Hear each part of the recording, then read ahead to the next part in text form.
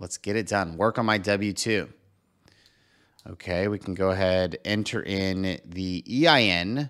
You'll see that here on a W-2. It's right here. That's the EIN. So grab that, put it in there, hit continue, and then you can upload, makes it easier, right? You can type it in yourself or you can upload it from my computer. Well, since I made this BS one up, it doesn't recognize it. So I have to type it in myself. So if you do upload it yourself, regardless, you will want to double check that everything gets entered correctly, right? This, they do do a lot on TurboTax, but they don't do everything, okay? You gotta double check their work, all right? Anyways, I'm gonna go ahead and enter this in. So if you're going to do the same thing I'm doing here, you can go ahead and follow along. If not, you can kind of skip ahead here because um, this will be some boring data entry here. Okay.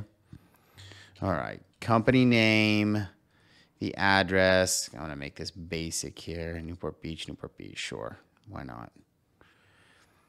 All right. Wages from here. 40. I'm just reading directly from the W2 here. Okay, maybe we can do something like this. There we go. All right, now we can get both on the same screen. Okay. 45,000 was Social Security, 2790. I get that question a lot. Why are those two boxes different? Well, generally speaking, that's like your salary that you got, and this is what's taxable. And in this case, because I put 4,000, well, that's a little off, huh? It should be five. Um, 5,000 here. I know that's a typo. Um, that code D is like a 401k. You'll see that in a second. 401ks are non taxable, so they take that out direct on your W 2.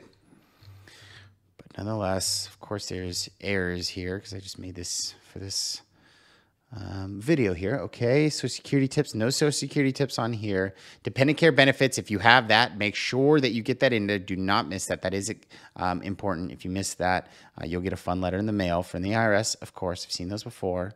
Okay, uh, but then we have that 401k, right? The 4000 we're going to say, okay, there's that. Add another item because we got it. This is real common also. The health insurance, right? Okay, we do have a retirement plan. Okay, four, yes, we do. We have CA, SDI, it's really common. Uh, state disability insurance, uh, we all pay here in California.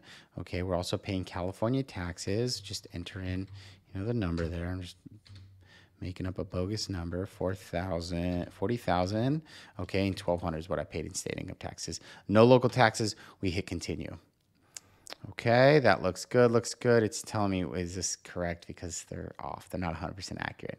All right, there we go. Refund so far. Thanks for letting me know, TurboTax. Deal. Let's see. Uh, check for uncommon situation. Okay, so if this is, you know, any of these pertain to you, you got to check the box here and fill these out. All right, but I'm going to say none of them apply. All right, there it is. There's my W 2 and we're good to go. That's the W W2s are easy. Should be pretty straightforward there. All right.